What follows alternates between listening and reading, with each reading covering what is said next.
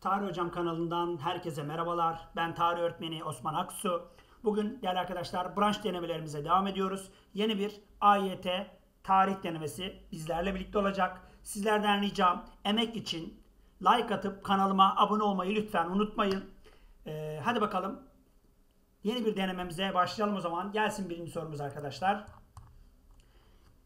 25. soru ilk çağ uygarlıklarından birine ait olduğu düşünülen gemi batığından altın sikkeler, kılıçlar, insan kemikleri ve seramik kaplara ulaşılmıştır. Bu buluntular üzerinde çalışma yapan bir araştırmacı buluntuların ait olduğu uygarlıkla ilgili aşağıda verilen bilgilerden hangisine ulaşılamaz? Bakın tarihi devirlere girmişlerdir. Doğru. Nereden anladık? Altın sikke diyor değil mi? Altın para demek. Sikke eşittir para. Para yazılı bir şeydir. Tarihi devirlerin olduğunu gösterir. Doğru. B şıkkını atlıyorum. C şıkkı savaşçı bir topluma sahiplermiş. Arkadaşlar bakın kılıçlardan savaşçı olduklarını ne yapabiliriz? Çıkarabiliriz. Doğru. Güçlü bir ekonomiye sahiptirler. Doğru. E, altın para bastırdıklarına göre, altın paraları olduklarına göre kasalarında para çok demektir. Ateşi kullanmışlardır. Bakın bunu da çıkarabiliriz. Nereden çıkarabiliriz? Seramik kaplar arkadaşlar demek ki toprak ateşte pişirilerek ürünler elde edilmiş. Ama Denizli'nin yanında tarım yaptıklarına dair bir kanıt yok. Çünkü diyor mu size saban var, orak var, sulama kanalı var? Yok. Dolayısıyla cevabımız Bursa olacaktır arkadaşlar. Evet. Gelsin ikinci sorumuz. İnsanlar Neolitik taş çağında toplu halde akarsu kenarlarına yerleşmiş ve çeşitli ürünler yetiştirmeye başlamışlardır. Neolitik çağda yapılan bu faaliyetler bir yaşam tarzlarının değiştiği. Doğru. Arkadaşlar e, göçebe hayattan yerleşik hayata geçmişler. İki, avcılık ve toplayıcılığın terk edilmeye başlandığı. E, bu da doğru. İnsanlar artık yavaş yavaş avcılığı toplayıcılığı bırakmaya ve akarsu kenarlarında tarımsal faaliyetler yapmaya başlayacaklar. Doğru.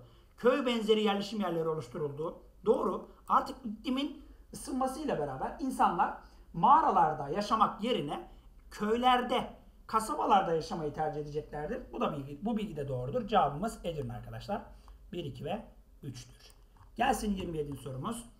Akatlar tarihte bilinen ilk düzenli ordu kurmuşlardır. Kısa sürede farklı kavimleri hakimiyet altına alarak sınırlarını genişletmişlerdir. Bu durumun bir nüfus alanlarını arttırmak. Elbette fetihlerle birçok bölgeye yayılacaklar. Güçlü bir devlet kurmuşlar çünkü. İki, imparatorluk düzeyine ulaşmaları. Birçok medeniyeti topraklarına katarak artık devlet çok uluslu bir imparatorluk haline dönecek. Üç, kültürlerinin yayılması. Elbette kültürleri de fethedilen yerlerde yayılacaktır. Cevabımız arkadaşlar ortam hazırladığı söylenebilir diyor bakın. Cevabımız bu, bu nedenle 1, 2 ve 3'tür. Yani nedir nedir? Evet. Gelsin 28. sorumuz. Nil Mısır coğrafyasına hayat veren bir nehir olmasına rağmen belirli aralıklarla taşması ve tarlalara zarar vermesi insanları tarlaların sınırlarını yeniden çizmeye ve nehrin taşma zamanlarını hesaplamak için güneşin hareketlerini takip etmeye mecbur bırakmıştır. Buna göre diyor Mısır uygarlığı ile ilgili aşağıda verilen bilgilerden hangisinin doğru olduğu savunulamaz. Bakın tarımsal faaliyetlerde Nil çok önemlidir değil mi? Gerçekten Herodot'un dediği gibi Mısır medeniyeti varlığının Nil nehrine borçludur arkadaşlar. Doğru. Geometride geliştikleri bakın ne diyor?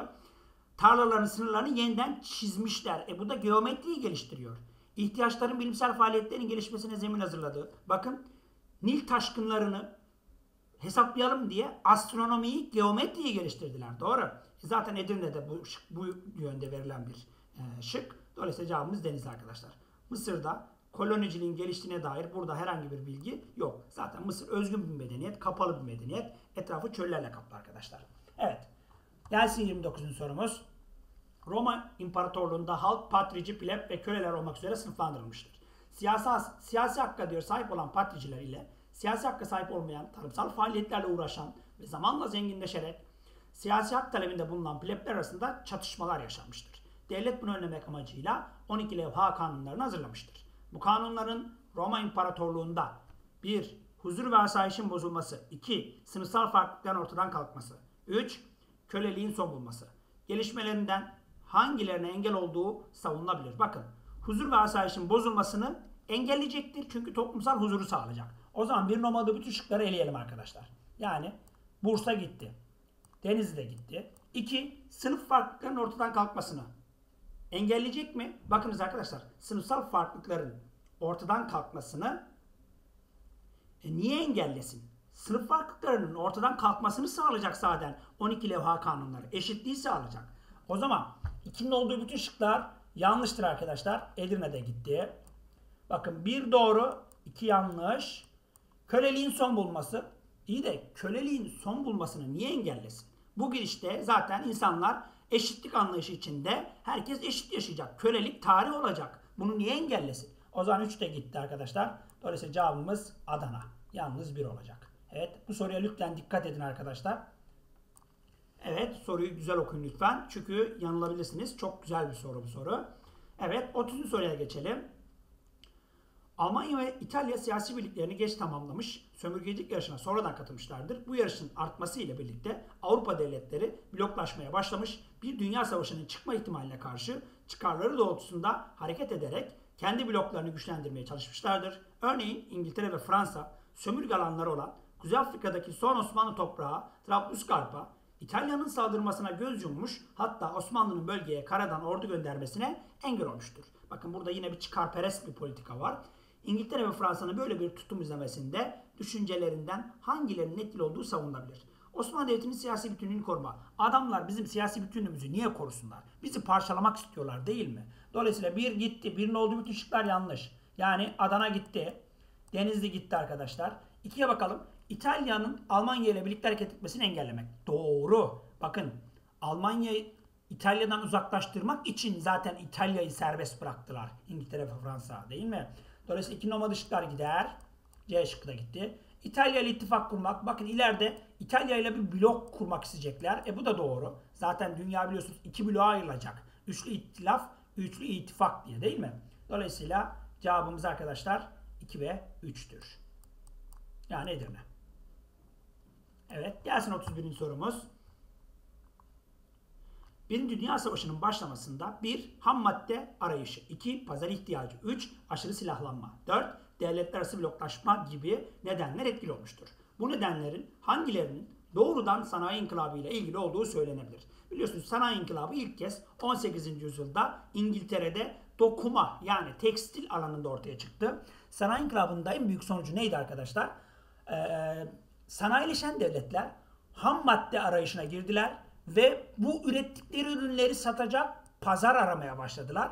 Bunlar zaten Birinci Dünya Savaşı'nın genel nedenleriydi ve doğrudan sanayi inkılabı ile ilgilidir. Evet. Dolayısıyla cevabımız 1 ve 2'dir arkadaşlar. Yani Bursa. Evet. Güzel bir soruydu yine. Evet. Gelelim 32. sorumuza. İtiraf devletleri Osmanlı Devleti'ni Birinci Dünya Savaşı'nın dışında tutmak için büyük çaba sarf etmişlerdir. İtiraf devletlerinin bu tutumu durumlarından hangilerini engellemek istediklerinin göstergesidir. 1. Siyasi güç dengelerinin bozulması. Evet Osmanlı savaşa girerse ittifak, itilaf dengesi bozulabilirdi. Doğru. Savaşın uzaması elbette Osmanlı'nın savaşa girmesi demek savaşın yeni yeni yerlere yayılması ve savaşın uzaması demek. Uzadı da zaten. Değil mi? Bu da doğru. Savaşın geniş coğrafyaya yayılması kesinlikle. Savaş 3 kıtaya birden yayılmıştır arkadaşlar. Dolayısıyla cevabımız Edirne'dir. 1, 2 ve 3'tür. Bunların üçünü de itiraf devletleri engellemek için Osmanlı'yı savaş dışında tutmak için yoğun çaba göstermişler.